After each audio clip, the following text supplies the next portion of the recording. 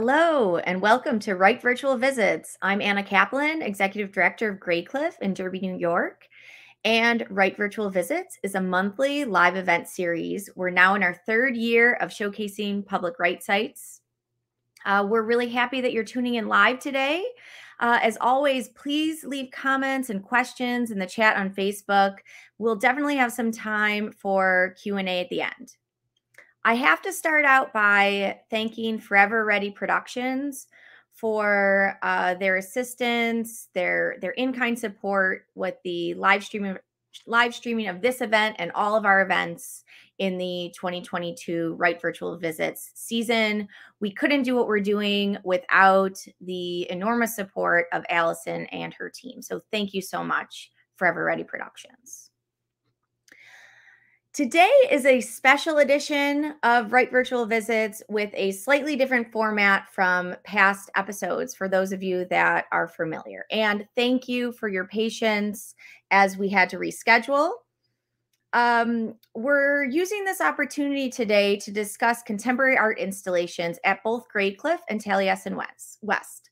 I am both the host and the participating sites we just installed an exhibition of work by sculptor Sarah Braman at Graycliff, which I'm very excited to share with you today. And I also have Bruce Orendorf, Director of Public Engagement at the Frank Lloyd Wright Foundation, tuning in from Taliesin West in Scottsdale, Arizona. Hi, Bruce. Hi, Anna. Hi, everybody.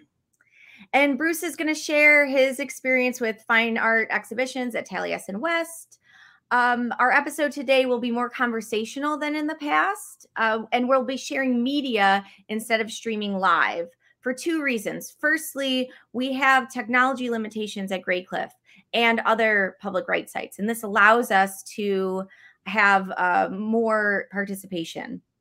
And then, secondly, um, very exciting.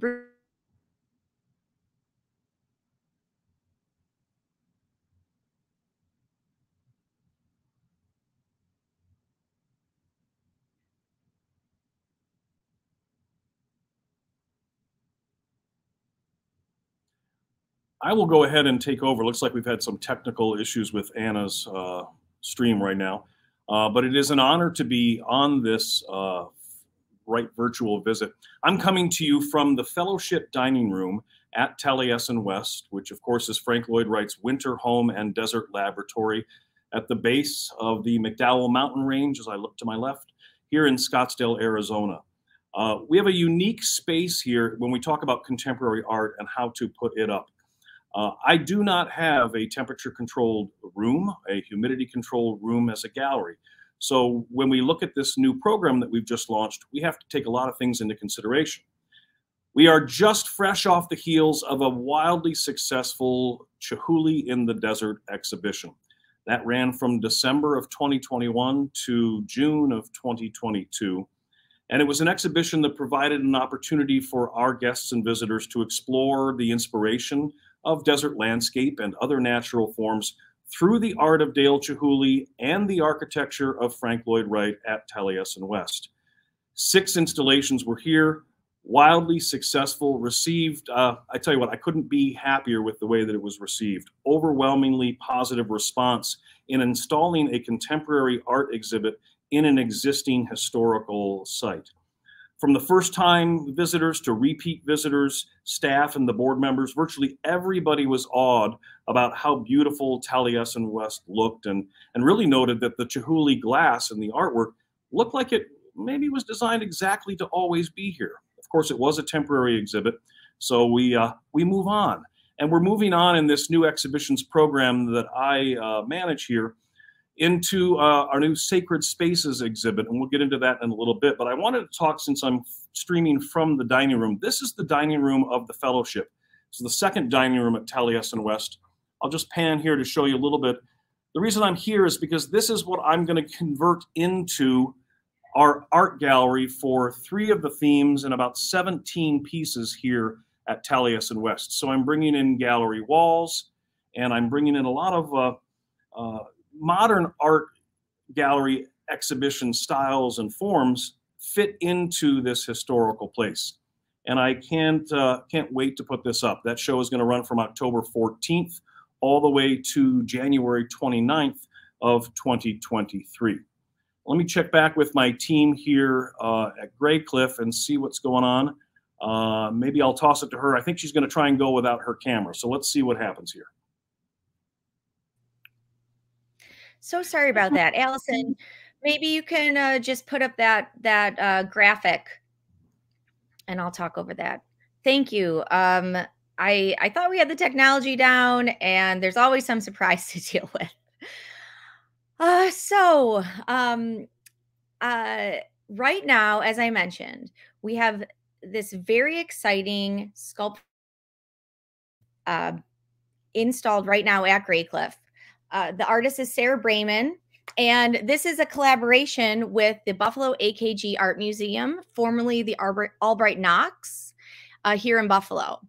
Uh, they are partnering with us as they are building a brand new building, and and this right now is actually the only a- Buffalo AKG Art Museum branded exhibition that's currently on view, which is very exciting.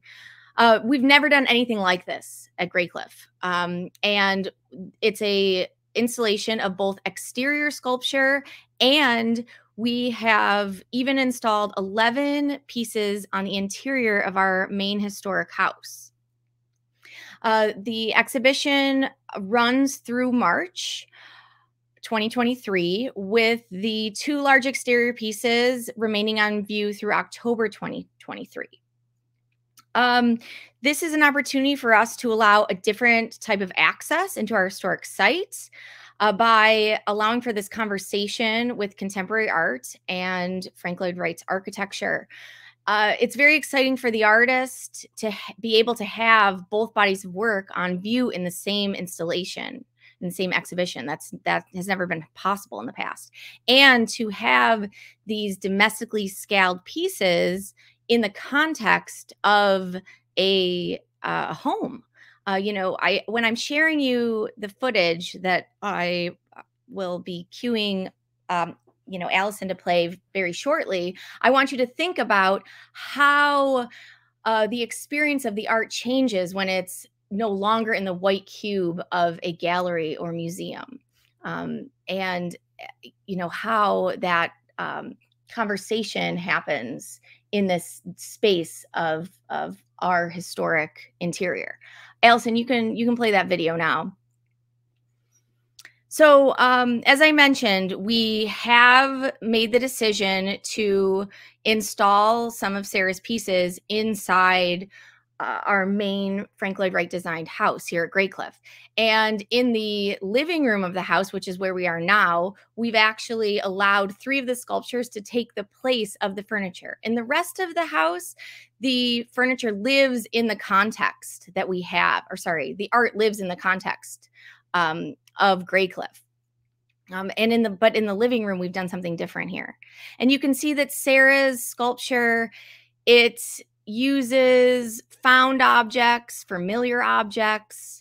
Um, you'll recognize chairs. These three sculptures all take a chair and use it in it uses it in a different way. You know, she's turning them upside down, um, making them float. Um, and essentially, what's happening is that Sarah's intention is to um, allow us to see the context of our daily life with with a different perspective.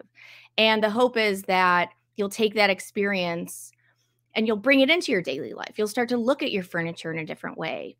Um, you'll start to look at that chair that you're sitting on, um, you know, with new eyes. She's making the mundane and everyday visible eh, in ways that they weren't visible before um, something else that's happening here is is allowing for a brand new perspective on our historic site. Um, people that that have been in the living room many many times are now seeing it in a very fresh way because they've never seen it with um, you know these foreign objects in it. And um, i'm encouraging our docents to focus on that and pay attention to uh, this new opportunity that that we have um, this is the last bit of this short video, and I wanted to make sure to show you the living room at a different time of day. Um, this is one of the really unique opportunities we have when we are having the sculpture installed in um, a naturally lit place. You know, that's very uncommon um, in a museum setting, for example. And the artist was so grateful to have the opportunity to have this sort of lighting. Um, the work changes uh, with the weather and at different times of day. Um, Graycliff, we have these incredible sunsets, and the house uh, was designed by Wright to really glow. Uh, and you can get a sense of that now. And the, the sculptures have this incredible um, uh, electricity when they're you know in conversation um, with the house in that way at different times of day. All right, Bruce, I'm gonna I'm gonna pass it back over to you now. Anna, thank you so much. Uh, I love what I see there, Graycliff, and I think the conversations that it is bringing up uh, when we look at contemporary art into you know standard historical magnificent settings uh, designed by Frank Lloyd Wright it is just the fact that it is bringing up these conversations and this nuance of, of freshness, the ability to look at it with new eyes. We are doing that same thing um, here in October with uh, a piece, an exhibition that we call Sacred Spaces. And it is going to run from October 14th to January 29th of 2023. It is organized by the Frank Lloyd Wright Foundation in cooperation with Beth Shalom Preservation, Taliesin Preservation, and the Western Pennsylvania Conservancy. This is an opportunity uh, with Sacred Spaces to look at Frank Lloyd Wright and Andrew Pielage, and it expands our knowledge of Frank Lloyd Wright's architecture and really challenges our assumptions on actually what is a religious space. Again, bringing in a fresh and new idea. It features images by Phoenix based photographer Andrew Pielage, who has spent the last decade documenting Wright's work and also aims to photograph every remaining Wright site. The photographs that are in this exhibition highlight Wright designed churches and synagogues from all around the country to the very well known, magnificent Beth Shalom Synagogue in Philadelphia, Pennsylvania, to the very little known surprise of the Pettit Memorial Chapel in Belvidere, Illinois. And none of these buildings that Wright designed resemble uh, what we'll call a typical sacred space, you know, with familiar layouts and symbols and heavenly inspiration. Instead, each of them expresses Wright's reverence for the divine spirit, but done through nature and the people on earth. The exhibition also has some of the historic and iconic homes and civic spaces that embody the same reverence for man and Mother Nature. If we can go to the first exhibit, we're going to um, talk a little bit about Fallingwater. This is the first one. This is Mill Run, Pennsylvania, 2018. All of this exhibition is designed in eight themes. The eight themes are throughout the rooms. We have this one happen to be taking place in the garden room. We have them in Wright's office. We have the dining room, as I said before, in the Kiva. And each of them has at least one thematic setting for all of these uh, prints that are here. This one is called Of the Land and very appropriate for this uh, wonderful, wonderful image here of Fallingwater. Of all Wright's sacred strategies, the one that most clearly connecting human, humanity and nature is with the divine was his placement of architecture within the landscape and the landscape within the architecture. The architecture, as he said, is no less weaving and a fabric uh, than the trees are in the forest. He singled out that kinship of building to the ground as principle number one in his philosophy of organic architecture. So here in this beautiful photograph of Mill Run, Fallingwater, Mill Run, Pennsylvania, he famously built Fallingwater in its rising central mass atop this constructed of concrete and local quarried sandstone right on top of that waterfall, as you can see. What's unique about this photo is light is peeking through the tree canopy, literally highlighting that connection between architecture and nature. And defining this as sacred.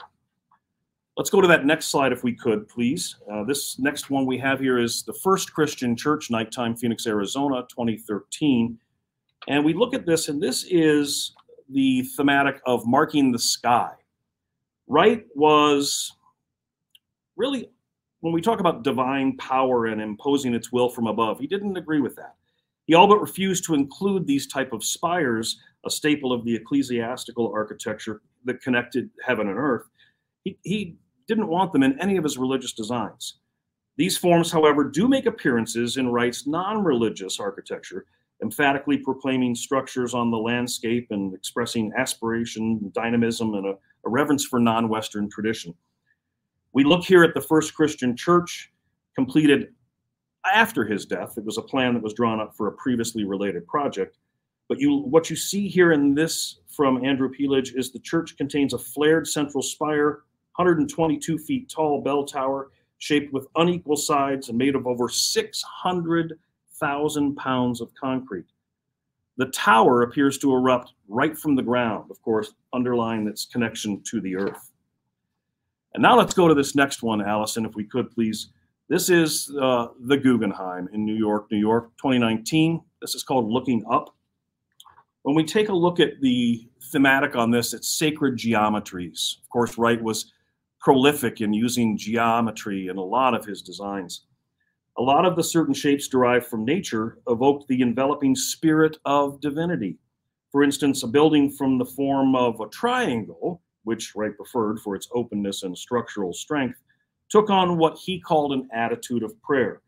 The Guggenheim here is filled with boundless glow because, quite frankly, of its 90 foot tall ceiling, 58 feet across, and what you're looking at is 169 pieces of glass in that skylight or the oculus. A truly spiritual structure, nonetheless. The last one before we toss back to Anna is here, uh, one I'm very particularly fond of, which is our moon gate at Taliesin. The theme here is man towards nature, nature towards man. And at the core of Wright's notions of both sacred and organic architecture truly was the independence of all things particularly nature, human beings, and the built world, which made things sacred to him. He considered the manifestations of this to be divine. He wrapped all of them together in the architecture, pulling nature inside and pulling man outward towards nature. This moon gate is a beautiful place here on campus, a porthole shaped opening in one of Taliesin West's desert masonry walls and it evokes the sacred shape of the moon and draws visitors towards a grassy courtyard via its framed view. I'll be back uh, in a little bit after I toss it to Anna with some more of Andrew Pielage's uh, sacred spaces, but now let's toss it back to Anna. Bruce, those images are are beautiful.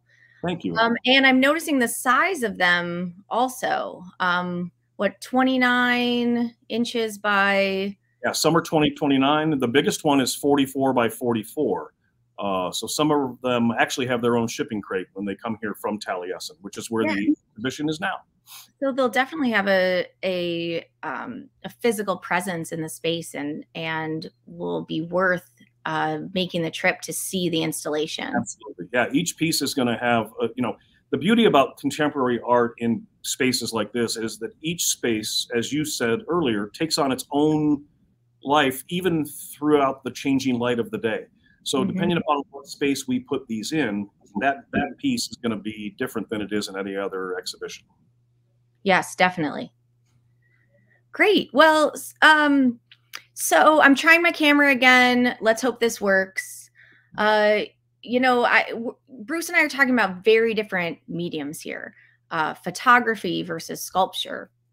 Um, but uh, you know, similar uh, avenues of new engagement with our sites. Uh, I'm going to dive into the exterior portion of the installation now at Graycliff. If you could uh, put that video on, Allison, thank you. Um, as I mentioned, there's two exterior pieces.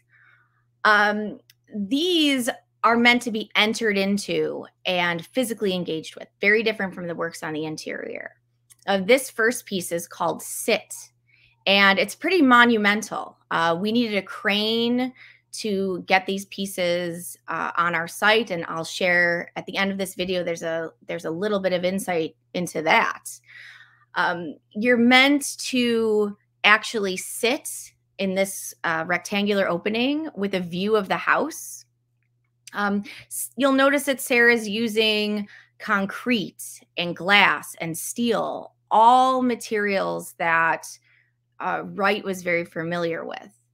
And when you're on the site, these pieces have a very strong architectural presence. The other piece is called Stay, and we're approaching it here. It's on the left side of, of the house. Um, the colored glass uh, is really interesting and, and something this, this video will not pick up on. But when you're in front of the pieces, the glass reflects uh, the surroundings. And um, again, it is affected by the, the changing sky, the changing lights. This piece in particular, these circular forms, they project light on the interior of the piece when the sun um, is in the sky at certain points of the day. This piece, Stay, also has a bookshelf in it, uh, which we're rounding the bend, you'll be able to see. Um, visitors are invited to to enter into the piece to browse through this library curated by Sarah Braman. And she's essentially created this cozy uh, space for you to pause, reflect, and, um, uh, you know, uh, contemplate the setting, which includes Wright's architecture. One thing about Graycliff is that uh, we really are a, a, truly excellent example of Wright's concept of organic architecture. You know, he was using rocks directly from the cliff upon which we're situated. Um, the lake is so important to his design, Lake Erie. Um, and when you're here, you, you really get a sense of that. Well, this artist, Sarah Braman, she is is also very interested in that relationship between um, her work and the surrounding environment. And um, one thing about this pairing is that it was it was very thoughtful. It was very intentional, um, and the working in in conversation in the physical space um, is fascinating. And and things happened after it was installed that we weren't expecting. Um, the light really animates the pieces, for example. Um, she uses light as a medium um, in a very similar way to to Wright actually. Um, Graycliff was designed to have very light filled spaces. Um, he uses ribbon windows and um, ample opportunities for for light to enter uh, into uh, the domestic spaces he's created.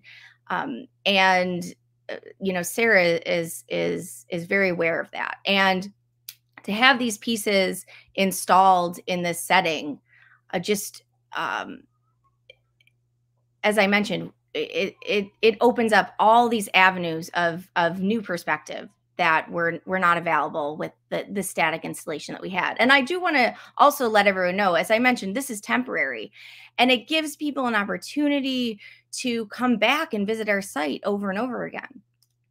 Um, we can stop the video now, Allison, and um, let's get Bruce back up on the screen you know what I really like, Dana, is the one. It was almost right before you said stop for the second time. There is a framing that is going on mm-hmm. uh, through her work into Frank Lloyd Wright's, and Frank Lloyd Wright did that all the time. He framed for mm-hmm. you. He told you exactly the way he wanted you to see things. So yeah, what a what a nice synergy between that contemporary artwork and what mm-hmm. Frank Lloyd Wright has uh, wonderfully left us here.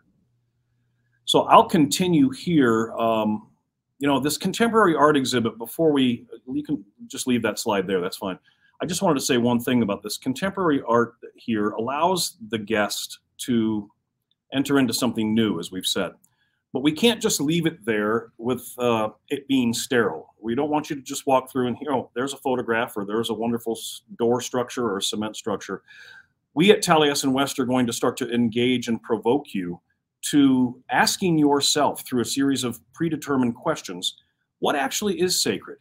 You know, in some ways, in my research on this, the sacredness of this is right down to someone's own personal space. So we'll be investigating the whole myriad of what actually defines sacred. And I can't wait for our visitors to come here. So let's go to this next one. We have Fallingwater, of The Stairs, and this is 2018 Mill Run, Pennsylvania by Andrew Pielage.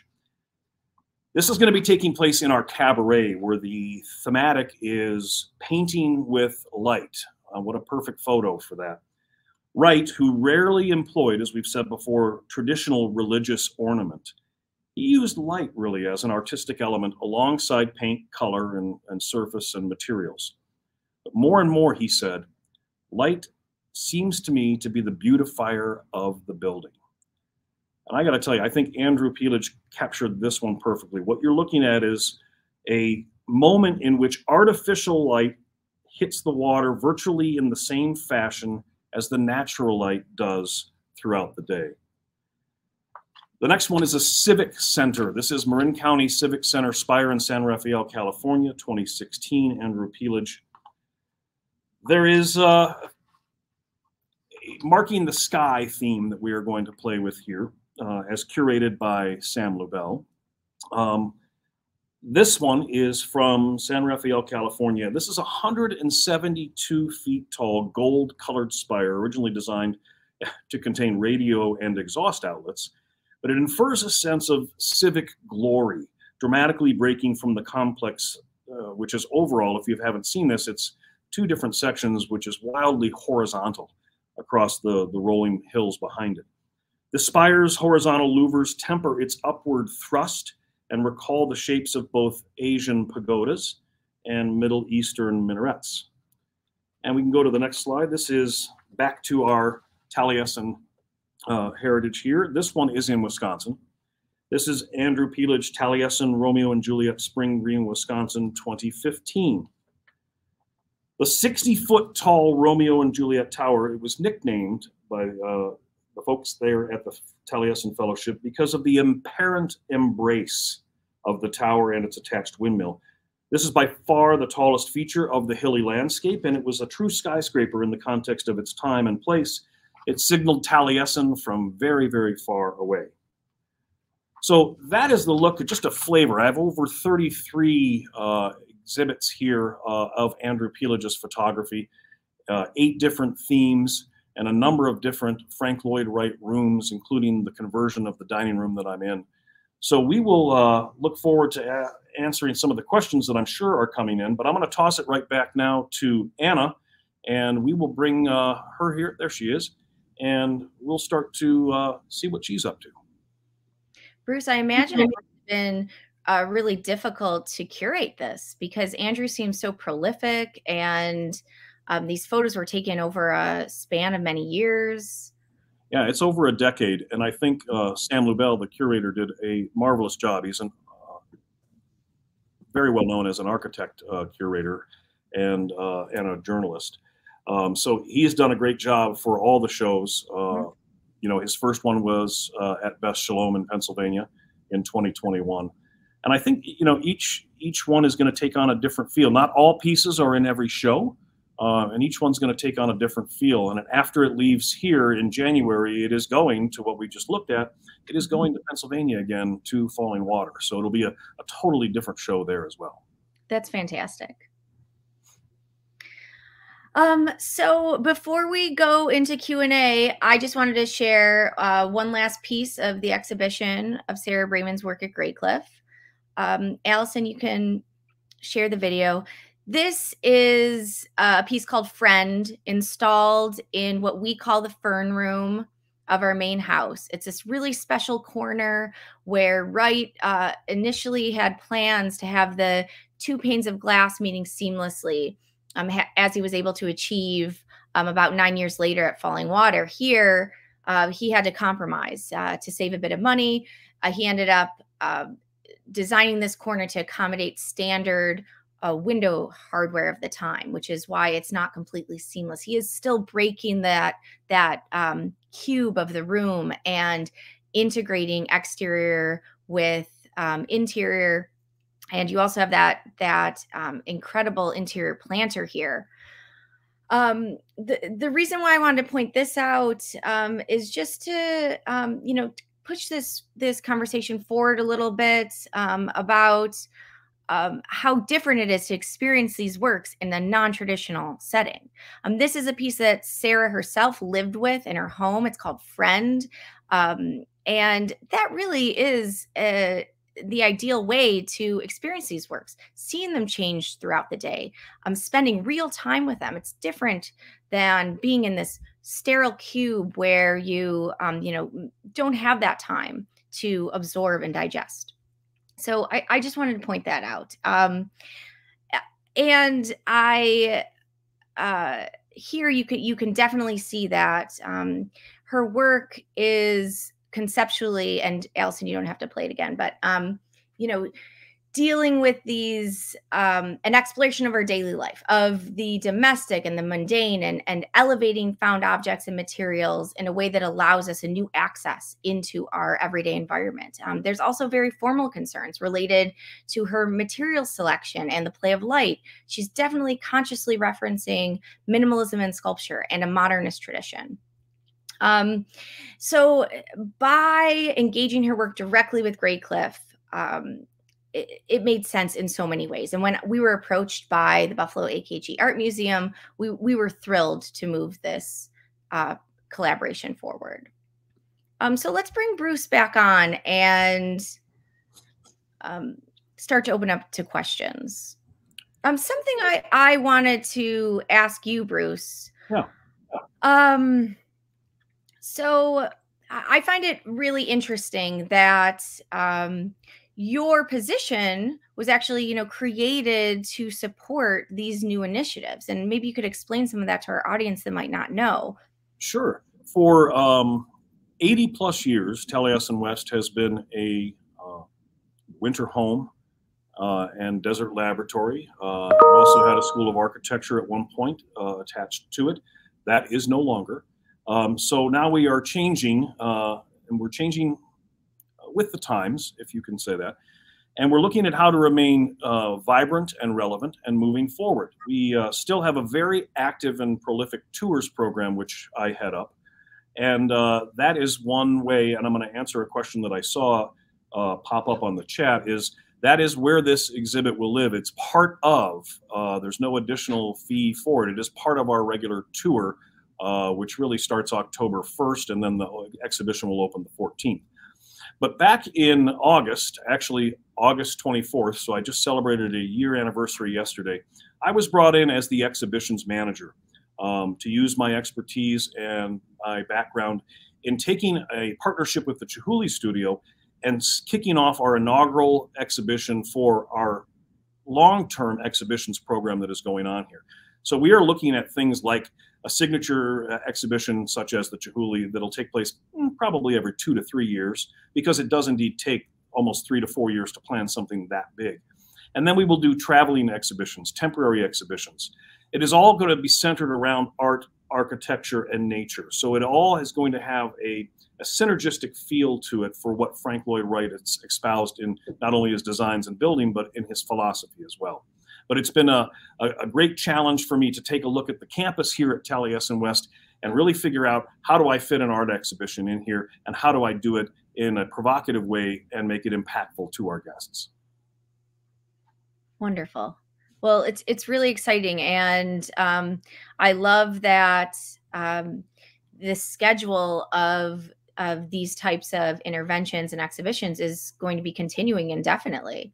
Correct for us at Graycliff, this, as I mentioned, it's the first time we've ever done something like this. We don't have anything lined up to follow it. Um, I am going to be paying close attention to visitor reaction and future opportunities, and we certainly would love to uh, do something like this again. And I'd also love a director of public engagement. So definitely future vision. Um, we we do have a question about um, how long the artist spent at Graycliff thinking about her installations and um, whether Andrew was involved in the curation and placement of the pieces. I'll quickly answer my question um, or the question directed at Graycliff. This project is, you know, over two years. It was over two years in the making. It's it's it's a long process. The artist had ample time to consider the spaces as well as the mm-hmm. curators. The curators, um, Andrea Alvarez and Zach Baylor from the AKG, uh, they, uh, you know, it's it, this is their vision, and um, they spent uh, a lot of time uh, visiting Graycliff.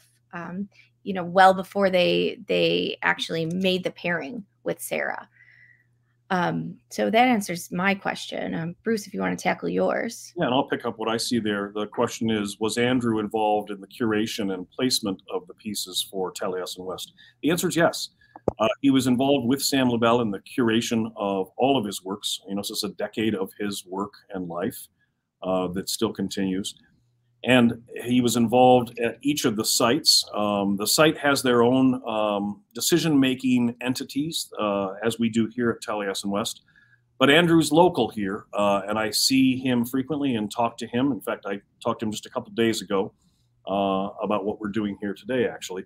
Uh, but he's fairly instrumental. Um, he doesn't have the sole decision on all this because it is a true team and partnership as to where we place them uh, for what is best for the tour, the space, and the art as well. Wonderful. Um, is there anything else, Bruce, that you, that you wanted to uh, dig into before we close up here? Uh, yeah, I just want to say, first of all, a thank you to both you, Anna, and to Allison and to Eric and everybody that's involved and the viewers. Um, I do think contemporary art uh, is important at sites like this. I do think it's not going to be accepted by everybody. And to me, in my opinion, that's okay. That's okay. We are doing things that uh, that challenge the way we are moving forward here, both at Taliesin West and at Graycliff, and for that matter, any other site uh, even non-Wright sites that are doing this. This is a this is a big move in the industry now, and I think it's vibrant and it's important. Again, acknowledged, not for everybody, uh, mm-hmm. but uh, it is the way that we are choosing to move forward, and I'm I'm very thrilled and happy about that. I love that comment, Bruce. And for those that are skeptical or um, you know not fully on board with it, I always encourage you to pay attention to your reaction. If you're having a, a strong reaction, even if it's not positive to uh, contemporary art, that might mean that that that was part of the artist's intention. You know, um, contemporary art isn't always about aesthetics. It's about changing your um, uh, your perspective on things, changing um, your thinking, and allowing you to maintain that after your encounter with that piece of, of art and um, that's what i love about art I, I love how it, it makes things visible that that weren't visible um, you know before and it's it's really magical in that way and it, it's not always going to be a, a wholly um, uh, you know it's not all sunshines and and rainbows no it isn't and you know i ironically it's it's what wright wanted he uh, he wanted change. He wanted ingenuity. He wanted imagination. He wanted forward thinking. Um, he also wanted you to feel. Yep. He really wanted you to feel in his spaces. Um, and I'll just close out what I'm going to say and, and, use a phrase that I've used forever. It's not my phrase, but it's it's very well known. And I think art is it's important in the world because art is designed uh, to comfort the disturbed and disturb the comfortable. And I think that is what makes our world a better place. And I think we should also remember that Wright uh, was radical yeah. uh, with with his work and wasn't widely uh, accepted either. Great point, Anna. Great point. All right. Well, Bruce, it's been such a pleasure. Thank you very much. Thank you. Uh, I'm excited about this upcoming exhibition and your programming and can't wait to visit again. Excellent. And I look forward to continuing our conversations about what you're going to do next and, and working together with you on that. Thanks, Bruce. Uh, thank you, everyone, for tuning in today. Uh, and I just wanted to remind you um, if you're looking to visit Taliesin West and to learn more about their upcoming exhibition program, please visit franklloydwright.org. Um, if you're uh, hopefully you also will come out to Graycliff, experiencegraycliff.org is our website. Um, similar to what Bruce mentioned, we are definitely continuing our normal tour program. And so you can experience the art on a, a usual standard one hour or extended two hour tour. And then we also have the layer of art specific tours added to our programming, which is exciting for us to have a, a new uh, offering. Um, and um, sorry, I, I wanted to remind you that our next episode is September 29th. So this is a again a a different date than you may have gotten used to, but it is September 29th, and the focus will be Usonians. Uh, we'll be traveling virtually to Cedar Rock in Iowa and the Laurent House in Rockford, Illinois. And just a reminder, past episodes can be accessed at savewright.org. Um, Allison will put up the the website. And lastly, now is the time to register for the Frank Lloyd Wright Building Conservancy's annual conference happening in person in Chicago this year, October 19th through 23rd. We highly recommend this in person experience. You'll get to explore many of the sites that we have featured on our program. Um, and uh, the whole package is just not to be missed. Uh, there also will be the option for a virtual participation, um, and more details will be coming soon on that front. Um, so thanks again, and uh, we hope to see you next month. Bye for now.